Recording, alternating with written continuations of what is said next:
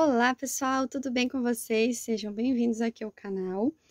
Hoje, atendendo a pedidos, eu vou mostrar para vocês essa florzinha, que eu tenho já vídeo aula dela no canal, mas é um vídeo bem antigo e ultimamente eu tenho usado ela bastante em alguns trabalhos. Deixa eu mostrar para vocês aqui. E me pediram muito para mim é, mostrar de onde que vinha essa florzinha. Então, é essa florzinha aqui, ó, deixa eu até abrir minha peça para mostrar que eu uso ela aqui, ó, para colocar como um detalhe na parte interna aqui das capas do vaso, dos jogos de banheiro.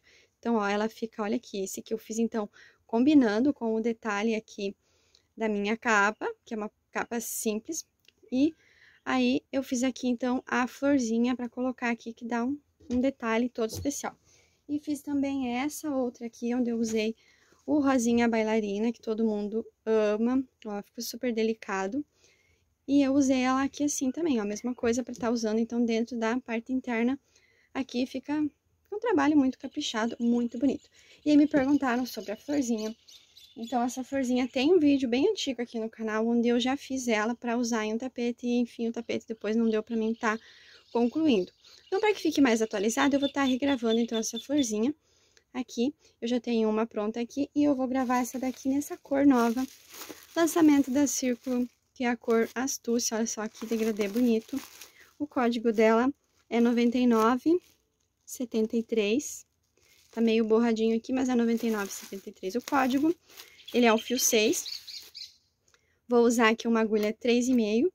Vou usar uma tesourinha para remates. E aí, para tá colocando no miolinho, vocês podem estar tá usando tanto uma pérola tradicional, tá colocando ali, passando os fiozinhos.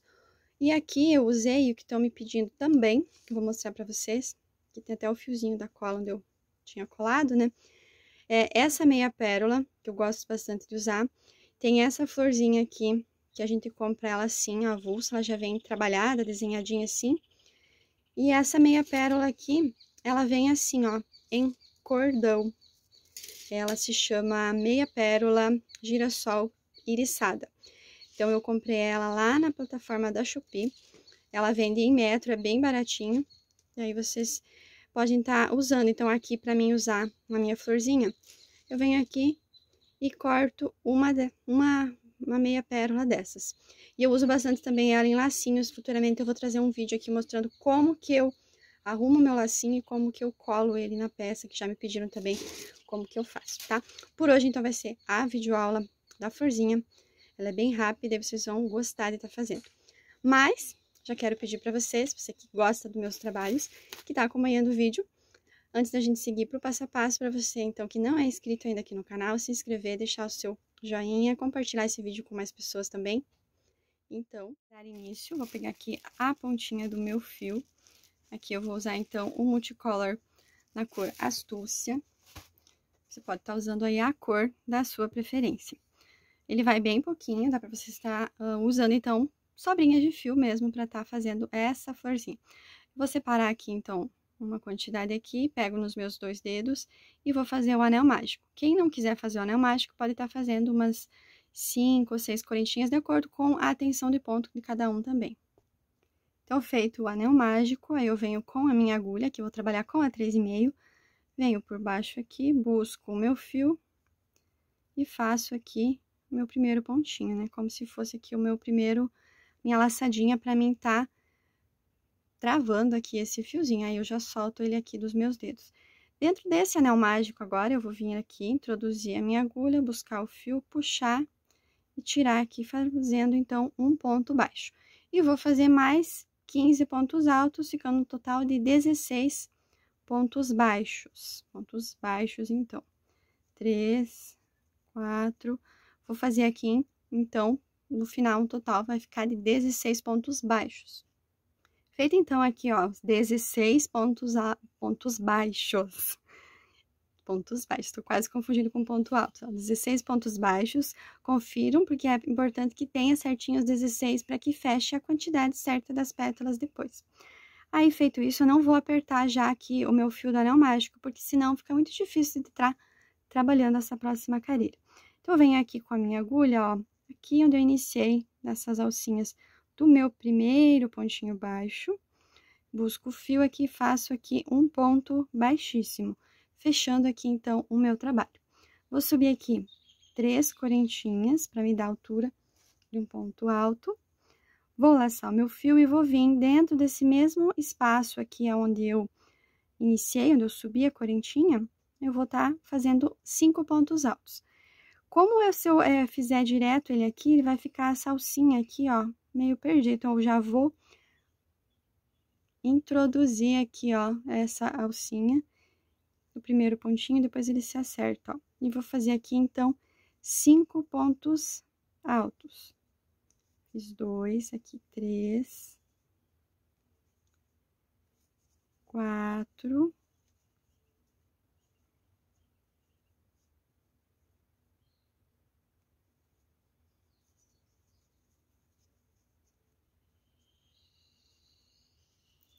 e fiz aqui o meu quinto ponto alto. Vou soltar, então, a laçadinha da minha agulha, não, é, dou uma leve alongadinha para ela não perder meu ponto, e venho aqui, ó, nessas alcinhas do primeiro ponto alto, introduzo a agulha e busco essa laçadinha, e aí eu puxo assim, formando aqui, então, uma pipoquinha. Faço duas correntinhas, laço meu fio, pulo um pontinho de base. Então, esse buraquinho que tá aqui, ó, onde eu tô marcando com a minha unha, é o pontinho que eu vou pular. Eu vou no próximo, fazer novamente, então, cinco pontos altos dentro do mesmo ponto.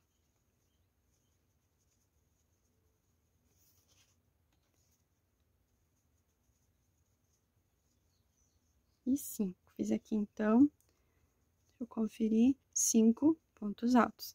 Solto, venho aqui nas duas lacinhas do primeiro ponto, busco aquela laçadinha, travo ela e faço duas correntinhas. Aqui eu concluí, então, duas pipoquinhas, que são duas pétalas.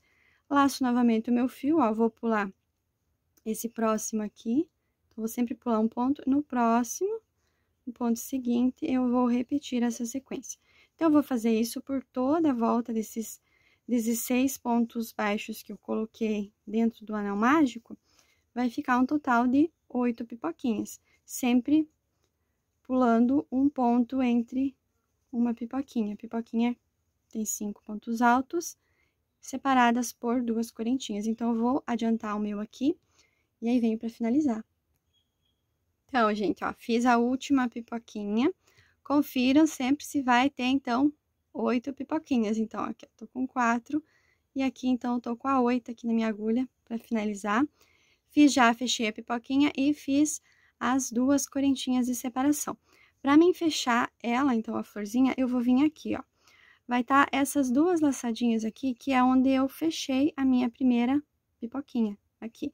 Não é nesse pontinho aqui, porque se vocês colocarem aqui, é, no primeiro aqui, ele vai ficar um espacinho. É, lembram que quando a gente iniciou, então cada pipoquinha tem cinco pontos altos. Para iniciar, eu subi três correntinhas e eu fiz cinco. O que em algumas vezes essas correntinhas já equivalem ao primeiro ponto alto. Só que as correntinhas, se você subir só ela e fizer quatro pontos altos, fazendo com que essa correntinha equivala ao primeiro, eu achei que ele fica a pipoquinha muito fechadinha, não fica esse volume igual às outras. Então, eu só faço esses, as três correntinhas realmente é simbólico mesmo para conseguir estar tá subindo, para fazer então a primeira pipoquinha.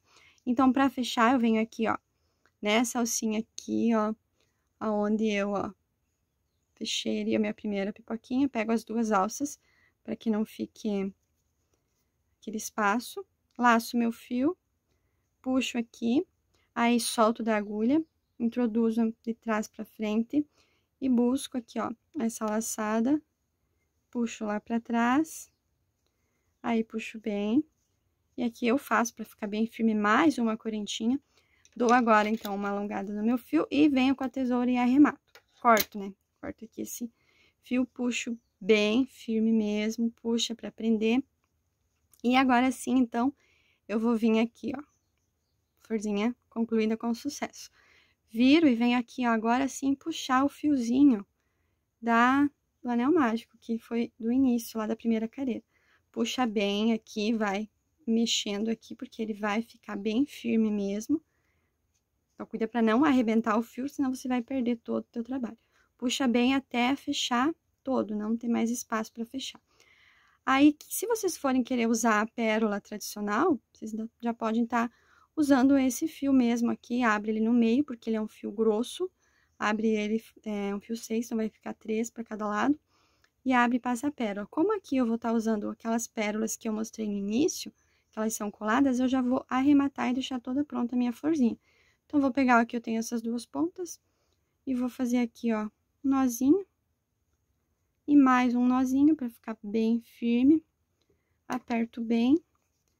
Aí, venho aqui, ó, nessas alças que tem por trás, introduzo aqui minha agulha em algumas delas, busco essas duas laçadinhas, puxo bem e aqui eu já vou cortar. E depois eu venho aqui, ó, corto aqui, depois eu venho aqui com uma colinha para arremates e coloco um pinguinho de cola e aí fica prontinha.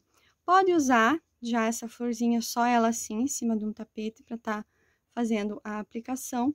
Pode transformar ela num square, porque ela vai ter esses espaços aqui, ó, que é fácil para estar tá fazendo. Inclusive, vou fazer um trabalho incrível com ela, que vocês vão amar, um tapete que estão me pedindo muito. Vou fazer, então, usando ela, para ficar lindo. Pode estar tá fazendo aqui, ó, então, as folhinhas. Eu não vou confeccionar aqui, porque acho que é muito facinho, né? Vocês já vão saber. Quem quiser tá fazendo, deixa eu mostrar certinho. Então, o que que eu fiz aqui, essas folhinhas? Então, a, eu vim com o fio verde, esse aqui é o verde folha multicolor, usem o verde aí da preferência de vocês. E eu fiz o ponto baixo, cinco correntinhas, volta no mesmo espaço, um ponto baixo. Fiz oito correntinhas, volta no mesmo espaço, um ponto baixo.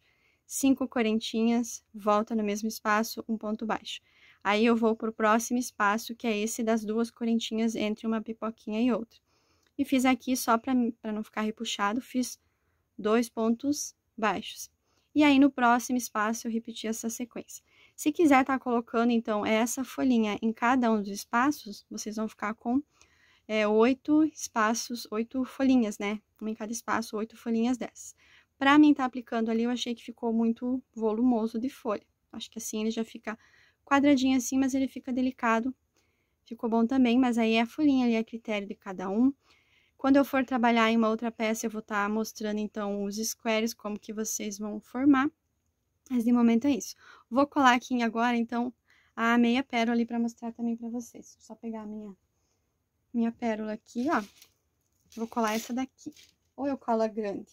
Deixa eu ver qual que vai ficar melhor. Acho que aqui vou colar a pequenininha mesmo, ó. Que é igual a essa, ó. Ela é só colada com cola quente, ó, ela fica bem, é, bem rasteirinha, ó, não fica aquela pérola grande, até para estar tá pisando em cima depois, se você for colocar no tapete, ela não é tão volumosa. Então, vou colocar ela aqui para ficar mais delicada, então eu venho aqui no meu cordão de pérola, que eu já deixei o nome aí para vocês. Com a tesourinha aqui eu corto uma. Vou pegar aqui a minha pistola, que já tá aquecida. Deixa eu ver se tá quente o suficiente, aí eu venho aqui Viro a minha pérola aqui. Ó.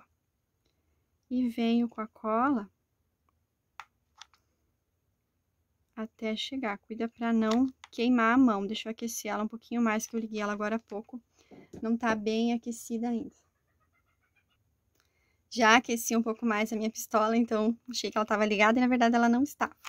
Então, você aquece bem ela, porque ela precisa estar tá bem quente para você estar tá fazendo aí a colagem das aplicações de vocês e não ter problema de soltar. Então, a cola tem que estar tá bem líquida. Eu venho aqui, tanto você pode vir com a pistola ali, ó, no miolinho e colar, colocar uma quantidade boa de cola e vir colocar a sua meia pérola em cima. Como eu não quero que sobre, eu prefiro fazer assim, então acho que pra mim é o jeito mais prático. Segura aqui, bem, cuida pra não queimar a mão. E venho aqui, solta a cola e bem rápido, vem e posiciona aqui bem no meio, né? Pra ele não ficar, não ficar tortinho. Aí, esses fiozinhos é normal que ele, que ele tenha, depois ele vai soltar e tá prontinha. Então, ó, ficou assim, ela fica rasteirinha, fica bonitinha, fica segura. Colar bem, né? Colocar bastante cola. E vai ficar linda aí a florzinha de vocês, como eu falei. Então, vocês podem estar colocando a parte verde em volta aqui formando nos quatro espaços, pode estar colocando nos oito espaços, ela vai ficar redonda, vai ficar com bastante verde. Ou tá, simplesmente tá só colando ela assim nas aplicações e tá colocando aquela folhinha tradicional que você já coloca. Ela fica bem durinha assim e é, acho que vocês vão gostar de estar tá utilizando ela, dá pra usar em sobras também. Então, a videoaula de hoje era essa, eu espero que vocês tenham gostado. E eu vou estar tá usando bastante essa florzinha em alguns trabalhos futuros aí, próximos. E aí vocês já vão ter a videoaula da florzinha aqui. É isso, pessoal. Curta o vídeo, compartilha se você gostou. Beijo grande e até a próxima.